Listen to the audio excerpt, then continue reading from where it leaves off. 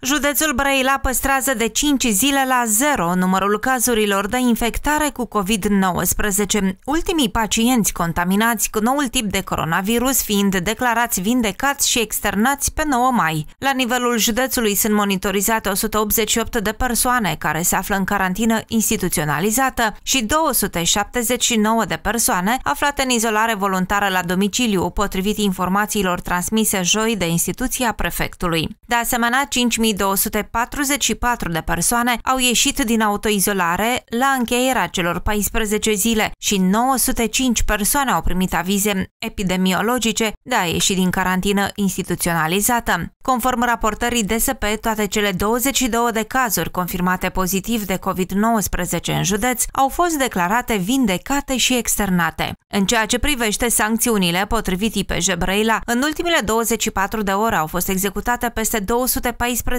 misiuni specifice în contextul prevenirii și combaterii răspândirii COVID-19. A fost verificat modul de respectare a măsurilor și interdicțiilor de deplasare în cazul a 302 persoane și au fost supuse controalelor 25 de unități comerciale pentru a se asigura suspendarea activității. Astfel, în urma activităților desfășurate, au fost aplicate 38 de sancțiuni contravenționale, în valoare totală de peste 21.000 de lei, pentru fapte comise în contextul pandemiei de COVID-19. De asemenea, polițiștii au depistat o persoană care nu a respectat măsura izolării la domiciliu, aceasta fiind condusă într-un centru de carantină pentru o perioadă de 14 zile.